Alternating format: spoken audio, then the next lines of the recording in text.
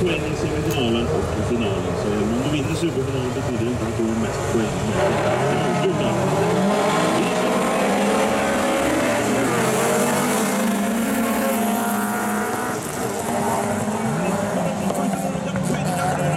Nilsson går upp ledningen.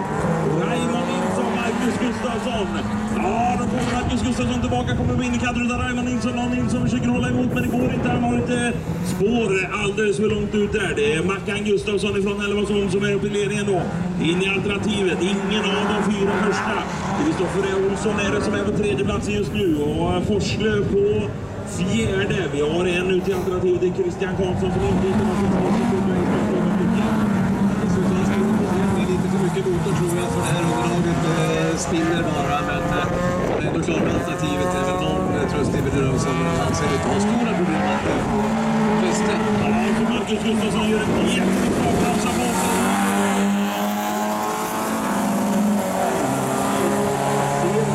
Gustafsson kommer igång igen, utan han Pannkaka. Ja, Raymond Nilsson då tar över taktpinnen för Gustav Olsson på andra platsen. Forslöv på tredje. Någon utav dem kommer vi få se åka alternativ. Frågan är vem? Ja, det är Olsson.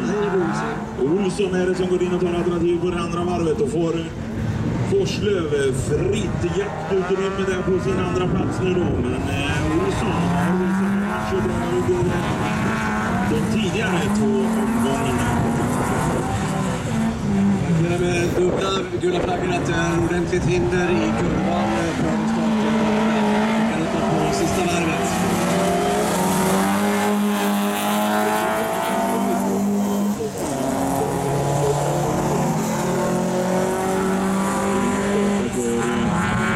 Gustafsson är tråkigt som gör comeback i klass 4-klassen här.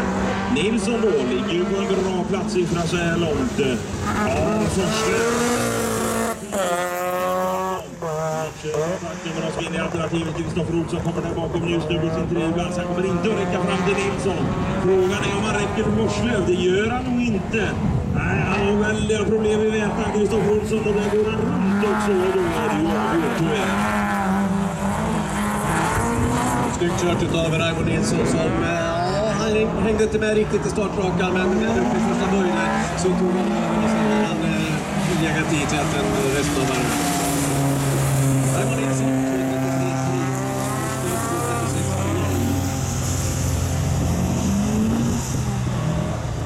Kristoffer Olsson 2.45,5.